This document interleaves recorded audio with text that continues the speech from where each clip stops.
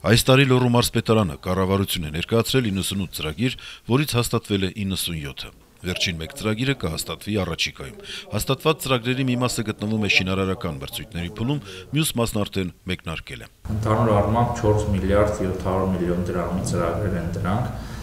40 համայնքներում պետք է իրականացվեն եւ եթե համեմատության կարգով ասենք նախորդ տարվա համեմատ նախորդ տարի իրականացրել ենք 1.8 միլիարդ դրամի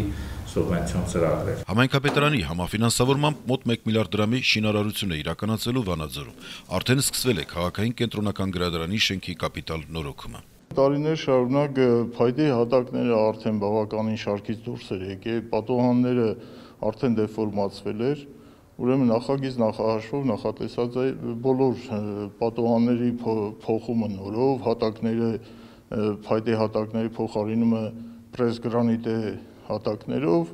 եւ ընդհանուր հիմնանորոգման աշխատանքներ։ Գրքերը տեղափոխվել են ապահով վայր։ Շինարարության համար նախատեսված է 6 ամսյա ժամկետ, սակայն շինարարն ասում է, որ ավելի շուտ են ավարտելու։ Վանաձորի համայնքապետարանը փորձում է ճիշտ օգտագործել համավարակի ընթացքում մշակութային հաստատությունների ժամանակավոր պարապորտը։ Երկուսն էլ միասին 60 միլիոն դրամի մասին է խոսքը գնում, աշխատանքները սկսում են եւ մեզ համար մեծ ձեռք բերում է զարգ է, որ հաջորդ քայլը արդեն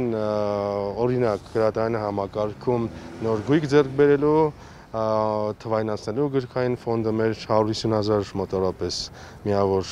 ֆոնդն է։ Երուսեր է նաև Վանաձորի երկրորդ մշակույթի տան շենքում նորոգվում են եւ դահլիճը եւ փորձասենյակները։ Ամեն տարի շինարարական այս կազմակերպությունը որոշակի խնդիրներ է ունեցել մասնագետների ներգրավման հարցում։ Կորոնավիրուսի պատճառով շինարարներն այս տարի Ռուսաստան չեն մեկնել, վարպետի խնդիր չունեն։ Նոր ենք սկսել առաջի գործնամերս տարվա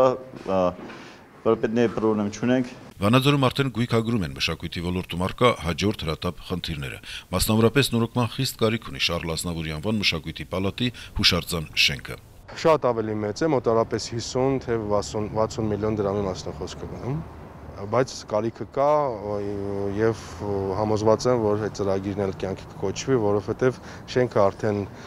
կարելի ասել վթարային է եւ կկորցնենք։ Առաջիկա մեկ ամսում շինարարական բոլոր մրցույթները կավարտվեն եւ մարզի 40 համայնքում կմեկնարկեն բոլոր ծրագրերը։ Մտնում ենք բուրըն, այսպես ասենք, շրջան, որը կարծում եմ, որ պետք է տարվա ավարտին արդեն ամփոփենք դրական արդյունքներով։ Զուգահեռ Վանաձորում շարունակվում է նաև նախորդ տարի մեկնարկած ծրագրերի երկրորդ փուլը։ Բարեկարգվում են պատկերասրահի եւ Արցախի հրապարակի պուրակները։ Ռաչապապինյան Լիլիթ Յոչյան, լուրեր